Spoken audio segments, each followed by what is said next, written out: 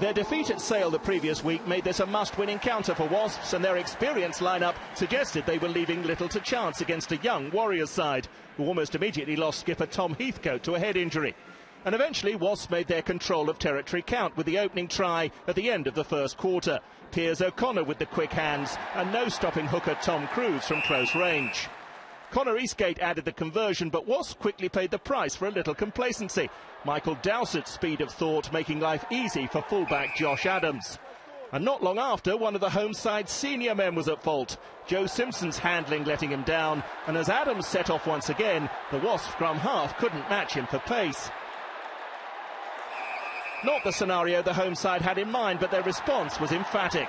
Just past the half hour, Tom Howe sent Thomas Young in to score, and on the stroke of half time, the hosts' older heads opened a significant lead thanks to one of their younger players. 19 year old replacement Jack Willis over in the corner, and Wasps had weathered a storm. Straight from the restart, they set about turning a tight affair into anything but. Simpson's half-time replacement, Dan Robson, made his presence felt straight away with Wasp's fourth try. And number five came quickly and memorably. Robson, Howe and Cruse involved, and Brendan Macken surely settled the outcome.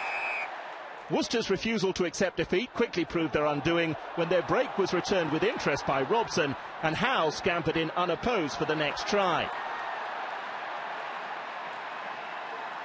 But not the last. Every Warriors mistake punished in full now by replacement Jacob Umaga this time, and the last quarter promised a rout. Which was duly delivered by further scores from Robson and O'Conor, before Umaga finished Worcester off with Wasp's 10th and final try. After last week's win over Bristol, their decision to blood their youngsters had rather backfired. As the scoreline suggests, boys against men.